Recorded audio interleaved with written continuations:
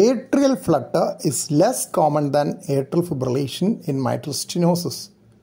In this ECG, the flutter waves are seen well in inferior leads and V1 as typical sawtooth waves. It is less prominent in other leads. Such an organized flutter is rare in mitral stenosis.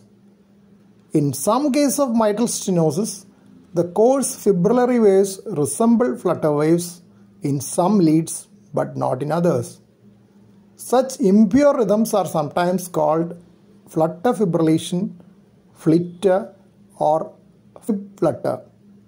In those cases, the waves are irregular. In this ECG, the waves are regular, suggesting true atrial flutter.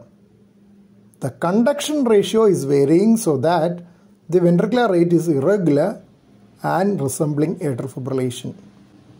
The large atria in this case, both left and right atria, as there was severe pulmonary arterial hypertension secondary to severe mitral stenosis, helps the maintenance of this flutter circuit.